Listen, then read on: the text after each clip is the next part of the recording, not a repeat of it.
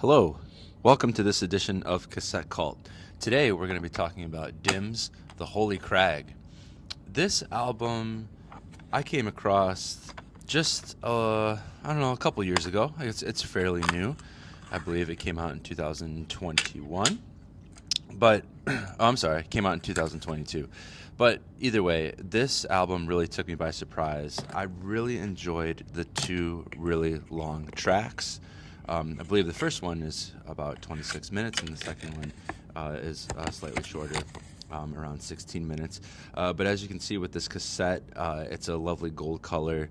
Uh, the art is pretty cool. Uh, it has a really cohesive feel to it, um, and the playing on this album is really, really pretty and really great. It's a really unique uh, take on dungeon synth, in my opinion. Uh, just a really, really solid album altogether.